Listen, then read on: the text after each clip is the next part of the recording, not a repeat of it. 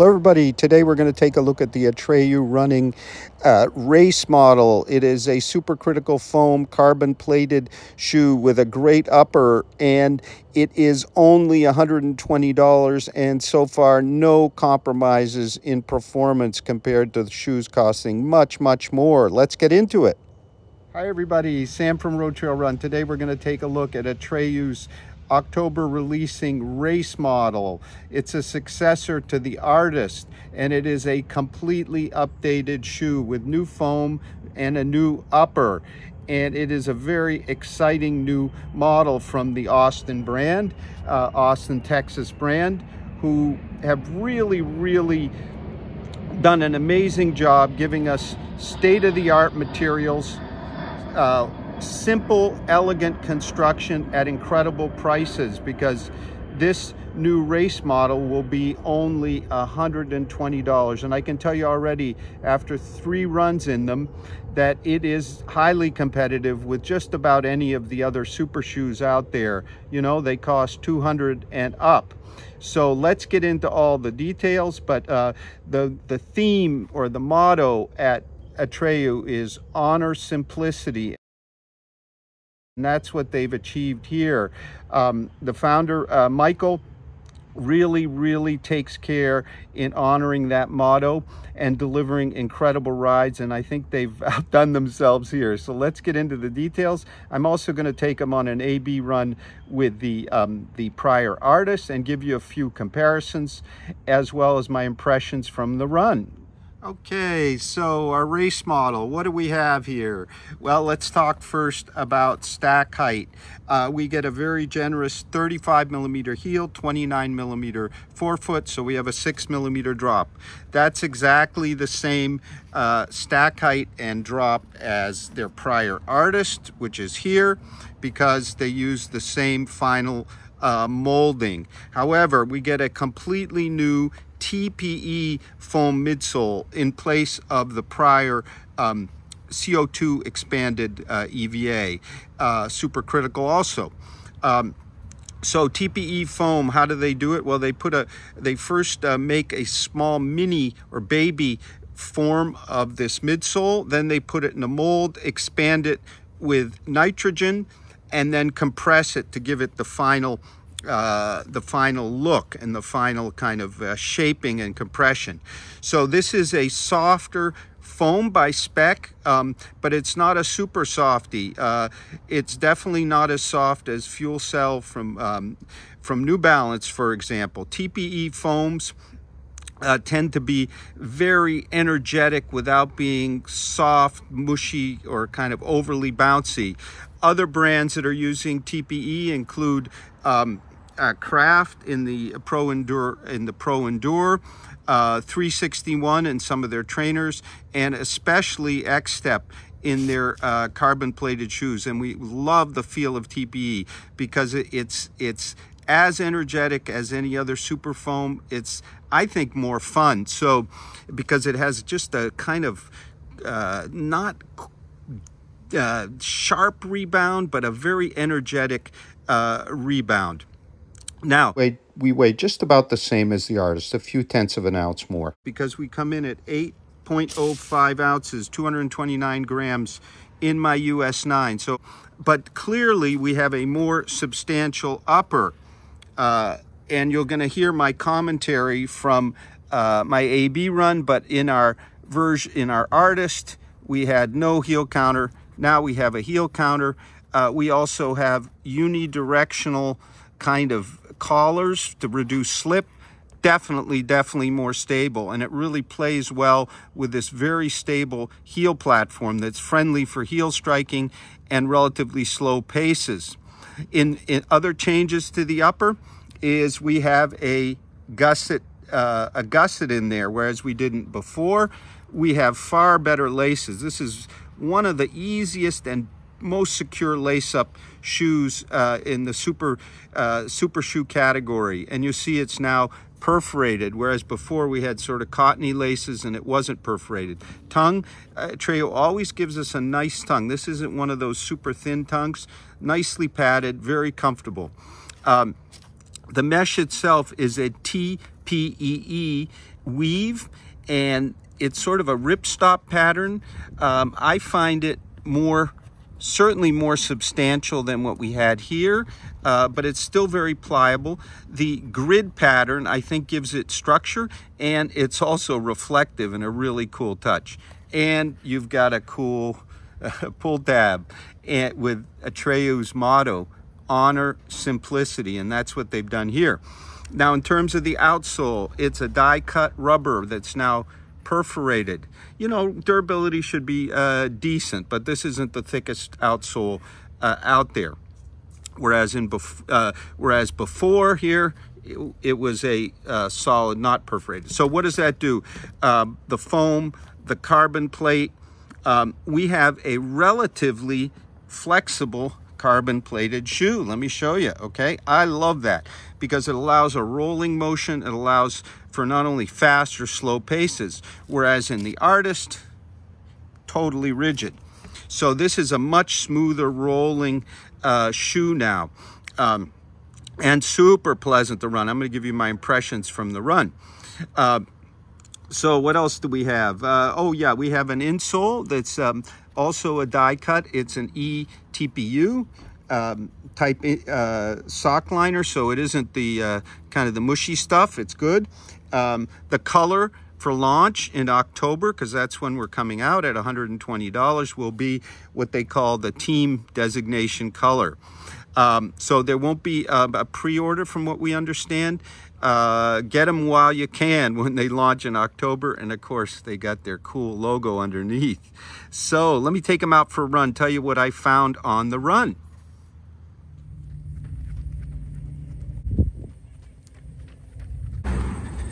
Okay, so we have a more flexible ride in carbon here. Very pleasant, very smooth. You can easily train in these. I'm running about 920 miles right now, which is sort of slower tempo for me. And then if you push down, you get a lot of rebound from the TPE. Okay, we're running along the harbor and enjoying it. Getting nice rebound. Uh, very kind of smooth flow here. The foam feel is uh, very forgiving. I wouldn't call it over soft. Uh, for example, over soft for me might be the FuelCell at New Balance and the SC Trainer and the Elite. But here, there's softness, but nice rebound. Quick rebound. Forgiving rebound. Okay, so let's talk about relative fit between the Artist version 1 and the Racer model. So first thing you notice is here we had sort of a single uh, density mesh. Here we have the reflective TPEE weave, so it's a rip, kind of ripstop. So overall, the foothold is much better. We also now have a, uh, a kind of a strap gusset here. We had none here. Mid foothold is much better. I note as we move to the laces that the lace up here is real smooth, right through, locked in. I haven't had to adjust on any, on my first run, whereas over here they're more cottony, so this is a higher quality lace. But the most important difference is we now have a heel counter, semi-rigid heel counter. We had none here, and I can really feel, and I felt it as I, when I tested the um, artist, some quite a bit of sloppiness, even some slipping. So what the Atreyu's done, and I'll show you another picture, is they've also put a unidirectional lining in the collars to keep the slip so the heel hold is just really good now. Uh, back to the toe box. They went with a bit less um, of a toe bumper in terms of firmness. It's more pliable now. I think it could be a bit firmer. Um, I have a bit of toe rise. Now, both are a half size up from my usual true to size. As you can see, I have a sort of a heavier, darn tough sock. So I'm gonna say uh, you should be true to size in your um, in the new racer model. There's a racer model. And um, over here, for sure, as a, at a half size up, I would be uh, better off in my true to size, maybe even size down. But um, right now I'm thinking that it's truer to size um, in the new Racer. Uh, now in terms of the basic, basic road feel, because we have more support, uh, we're much more, we're more, much more stable at the heel. We're not sl sl slopping around. Same with the midfoot. Um, the foam, the new TPE foam versus the supercritical EVA is uh, a, a, bit bouncier, maybe a bit uh, denser, maybe a touch softer, whereas the artist foam was kind of quicker, quicker, a little quicker reacting. I much prefer this new foam and we've got flexibility, which I showed you before, whereas here we're pretty much rigid. I like some flex in a carbon shoe. So this now makes it, at least so far, a much better choice for uh, training as well, and certainly a racer. I would definitely consider this for a half marathon uh, and up, whereas over here, well, if the hold had been resolved, I would have said 10K shoe. The plate isn't really noticed uh, as much as in some super shoes in both of them, and I can really feel much more roll off the front here than in the artist. So the, the artist, I think, favored a real good solid midfoot strike, whereas this one's more generous to more of a rear strike as well as training paces. Okay, a few conclusions about our uh, race model from Atreyu. Uh, if you're looking for a carbon plated shoe that isn't a chore to run at, any pace, uh, look no further. And especially, you, it won't hurt your wallet at $120 for this beauty. So, um, it is definitely high performance and so far in all my runs. Uh, I tied a Strava segment PR today. Uh, the last uh, tie in the shoe in the shoe was the Salomon S Lab Phantasm we just recently reviewed on the channel. Um, and they are in some ways kind of similar, although uh, the Salomon has a very soft lower layer, um, whereas here it's all a single density. Um, they're both equally quiet on the road. This is a very quiet shoe on the road. The, there's no plate harshness. It's maybe not quite as aggressive as your Adios Pros or your Endorphin Elites, um, uh, maybe even the Vaporfly, uh, but it's a smoother operator and it's very stable now that we have a real heel counter to go with what's a really good platform. The foam, this TPE foam, as I said in the intro, is one of my favorites. The, uh, th That material just seems to be more pleasant while being energetic. Of course, they dramatically improve the upper over the artist. So if you tried the artist and had some slipping or poor hold, you will not have such issues here. Although I would like to see a little more uh, structure to the toe bumper, uh, a little bit, it's a bit pliable. My, uh, I'm a I was a half size up here um, in this uh, sample and I wore fairly thick socks. I would go true to size. There's plenty of room in the toe box and the light upper makes the true to size work well. Everything was super well held, but I had a little bit of toe rise up front. I think you'll you should be true to size here in thinner socks, but I would like to see a bit more structure up front. I particularly, particularly like the fact that this is a full carbon plate with some flex. That allows a rolling motion.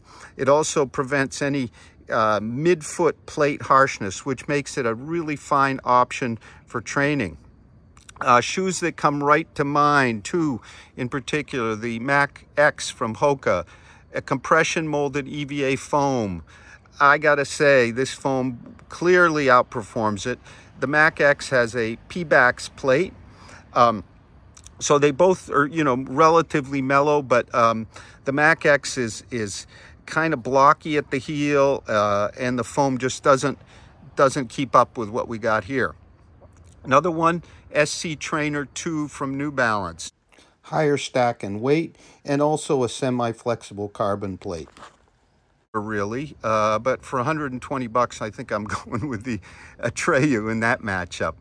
Uh, let's see if there's some others we might uh, talk about. Well, we, we talked about um, uh, other TPE foam shoes and the Xtep uh, 160X, oh, I forget which one, I think the 2.0, is similarly uh, flexible, a touch more aggressive, but has an equally kind of pleasantly reactive ride as here.